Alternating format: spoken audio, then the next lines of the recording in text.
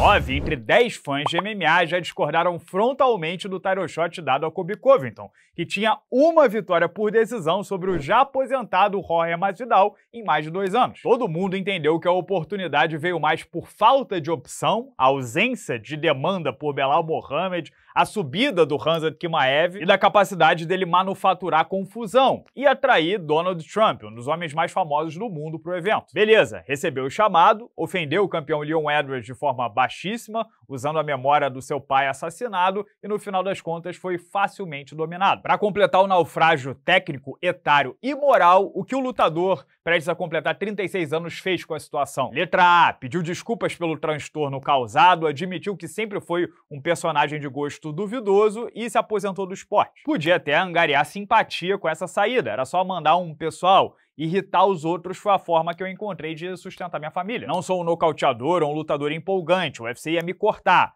Pensem pelo, pelo lado positivo. No final do filme, o vilão perdeu. Agora posso descansar em paz, refazer amizades e ter uma vida mais tranquila daqui pra frente. Queria até tomar um, marcar um chopp com o Jorge Masvidal. Letra B, criou uma narrativa totalmente nova, que fizesse até o fã que o odeia coçar a cabeça e pensar sobre. Tipo, tentei até onde deu, mas a diferença de peso e tamanho me impôs um limite nessa categoria. Agora vou atrás do cinturão dos leves. Justin Gate ou Dustin Poirier, que era um de vocês no UFC 300. Letra C, dobrou a aposta, repetiu a receita de bolo que funcionou no passado, esperando o mesmo efeito no futuro. Acertou quem disse letra C, tentou manipular a verdade. Covington, com o nariz ensanguentado, disse que essa foi a luta mais fácil da sua carreira. Se recusou a admitir derrota, porque acha que venceu três rounds, e chamou todo mundo que discorda de pobre e virgem. Esse recado, claro, é entregue atrás de um escudo ideológico, que começa agradecendo bombeiros, policiais e militares pelo seu serviço. Passa por um discurso pró-Trump, que é favorito à presidência em 2024, e termina com isso que acabei de dizer. A esperança é que a metade republicana do país continue simpatizando e engolindo a narrativa dele, apesar da performance pobre, de ter falado muito e entregado pouco. Michael Chandler chegou a brincar que se os Estados Unidos lutassem como Kobe,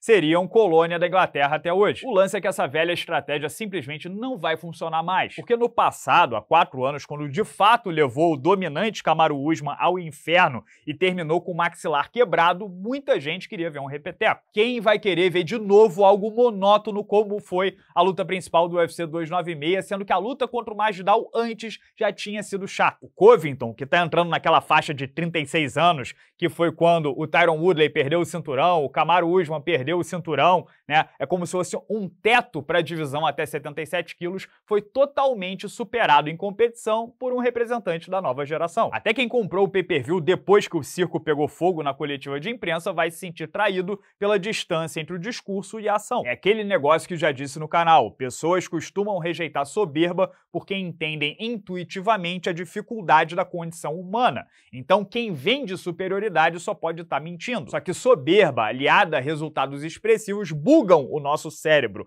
fazem a gente acreditar em conto de fada, que aquele indivíduo ali é especial, tem algo que não temos. Só que soberba sem resultado não funciona, vira maluquice. E aqueles que acreditaram nos seus poderes mágicos serão os primeiros a abandoná-los. Por quê? Porque entendem que foram enganados. Sábado, Donald Trump deixou a arena no meio do discurso do cara. Se o Kobe pelo menos se enchesse de coragem e desafiasse o bicho-papão da categoria, o Shavkat Rakhmonov, quem sabe, talvez ganharia uns pontos. Mas não, disse que o cara é anônimo, que uma luta com o Wonderboy é maior e quer enfrentar esse porque ele fala muita merda. Vamos lá, o Wonderboy vai fazer 41 anos, não defende mais quedas e é simplesmente o cara mais gentil e bonzinho do MMA. Tá todo mundo vendo que é mentira, que a intenção é enfrentar o adversário mais velho e mais afeição possível possível para depois xingar quem tá no topo e conseguir tentar um encaixe. Só que, de novo, não vai rolar. Chegou a hora do UFC usá-lo como escada. E nem é possível recusar esperar um encaixe perfeito, porque não há mais tempo. Eu concordo que o cancelamento geralmente tem como objetivo calar um alvo. E quando o sujeito não se cala, o efeito pode ser contrário, ele cresce. Só que no caso do Covington, a leitura tá errada. Continuar falando não cancela o cancelamento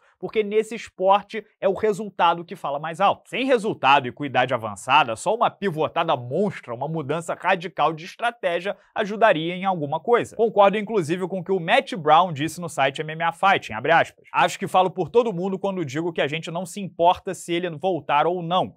Não acho que tem muita gente animada para vê-lo lutando de novo. A moral da história é, na cabeça do Kobe, a carreira segue de onde parou. Ele segue acreditando que é só uma questão de repetir a fórmula do bolo. Só que o Dana White, o cara que já lhe deu essa oportunidade pra lá de questionável, não curtiu o resultado. Sendo 100% verdadeiro ou não, tirou o corpo publicamente o avaliou como velho e lento e classificou a provocação ao pai do Leon Edwards como nojenta. É fato que com mais de 36 anos, numa categoria competitiva como até 77 quilos, os seus melhores dias ficaram para trás. Ele não tem nem mais como vencer os jovens que estão subindo para se credenciar de forma inquestionável. Claro, pode seguir fazendo uma luta aqui, outra ali, irritando as pessoas para terminar de fazer o pé de meia. Mas ainda que aconteça o melhor dos cenários, o Wonderboy morde a isca e o Kobe vai lá e vence ele seguiria sendo o quinto do ranking, sua posição atual. Ele caiu duas posições. Então, os seus dias de atleta relevante, sempre próximo de um title shot, acabaram no sábado. A questão que eu deixo para vocês é: